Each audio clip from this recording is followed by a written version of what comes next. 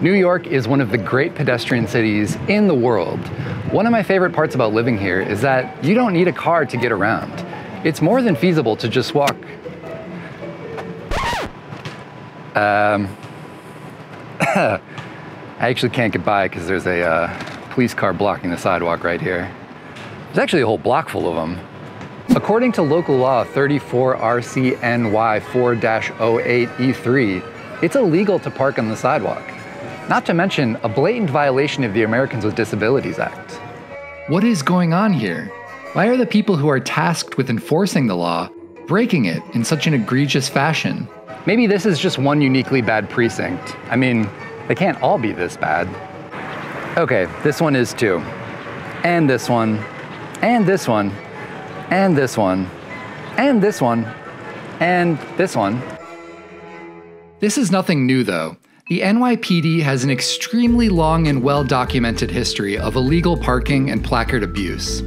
This despite the fact that the NYPD themselves issued a 2021 memo, or finest message as they apparently like to call them, explicitly stating that, quote, there is no valid verifiable defense for parking any vehicle operated by a member of the service on or off duty with or without a department issued parking permit under the following conditions double parking, fire hydrant, bus stop, sidewalk, crosswalk, bicycle lane, obstructing traffic, and no standing zone.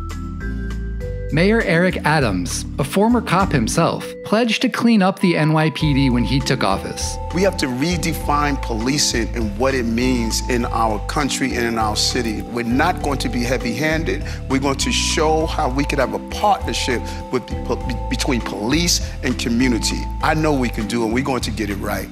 That all sounds great, but there doesn't seem to be any noticeable change so far. And Adams himself has even been spotted personally driving on the sidewalk. So let's just say I'm not holding my breath. And look, I'm not just being some contrarian curmudgeon here. This illegal parking totally interferes with the main purpose of the sidewalk. It also makes it next to impossible for people with strollers or people who use wheelchairs to get around, forcing them to use impassable cobblestone like this, or to go into traffic to pass by. The Americans with Disabilities Act states that a minimum unobstructed width of 48 inches is required by law on all sidewalks, which virtually every single police precinct violates in spectacular fashion. To add insult to literal injury, I witnessed lots and lots of police illegally parking in front of fire hydrants. The law requires that you park at least 15 feet away from hydrants, with violation incurring a $115 fine.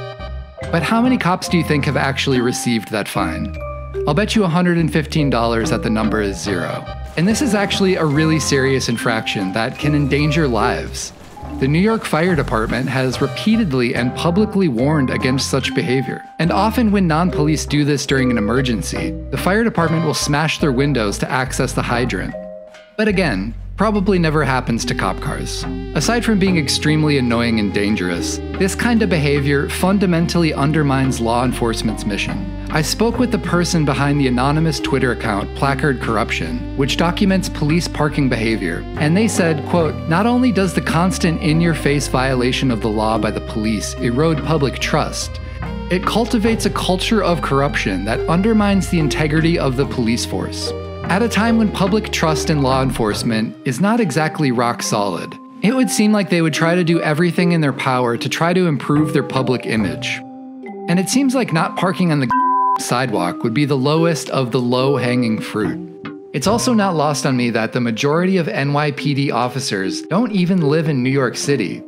So it's unlikely that they even view the people that live near their stations as their neighbors. And when you report the police to 311 for illegally parking, the report is forwarded directly to the people who are doing the illegal parking. Okay, to show you how big of a farce this is, let's try this out. Okay, so here's a police car that's obviously illegally parked. There could be literally no justification for why it's parked directly in the crosswalk. So let's report it to 311 and see what happens.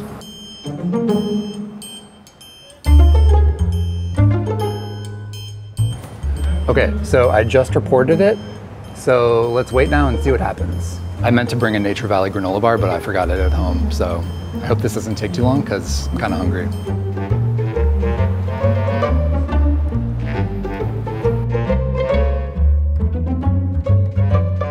Okay, so I got a notification back from 311 that says my request is closed. Um, it says that it took them 18 minutes to close it. Um, and the response says the police department responded to the complaint and took action to fix the condition. So let's go check and see if they actually moved the van out of the crosswalk. So you can see uh, the van is definitely still parked in the crosswalk. Um, it hasn't moved an inch. I doubt that anybody even came outside to check it. Um, yeah, it's absurd. What do you think this kind of Kafkaesque farce does to the public trust? Community members are bound to start feeling helpless and stop going to the police for assistance, if they ever did to begin with.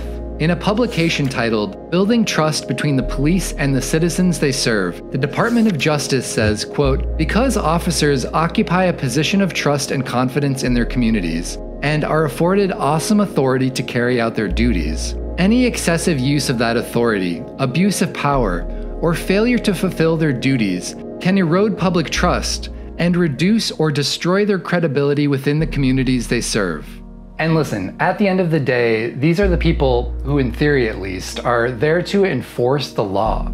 They are law enforcement who are given $10.8 billion of taxpayer money every year to do just that. Just imagine if every firehouse in the city was responsible for lighting fires in their neighborhood. So you might be saying, okay, so what's the solution? Well, in a perfect world, there would be effective, impartial oversight over the police. But as they've shown time and time again, the NYPD will fight tooth and nail to avoid any external accountability. So, barring that, what else? Well, hmm. I mean, I guess they could just stop parking illegally. Ever since I started making this video, every time I see somebody getting a ticket for jumping the turnstile or not paying the parking meter or whatever other infraction normal people get hit with every day, it delegitimizes them in my eyes more and more. The police get to pick when and against who the law applies, which is of course bullshit. I'm sure if they stopped parking illegally, it would kind of suck for them. They might have to like walk an extra block or two to get to their car. But I don't know what to tell you. Millions and millions of people slog to work every day, and most of us don't get the luxury to just park our wherever we want. And of course, it is possible that they do need more parking. And if that is the case, then they should go through the proper channels to make that happen, instead of just ditching their Dodge Charger wherever it seems convenient. The essential question boils down to this. Do the police think that they're above the law they've been hired to enforce? One would hope that the answer is no, of course not. But when you look around, you see that's definitely not the reality.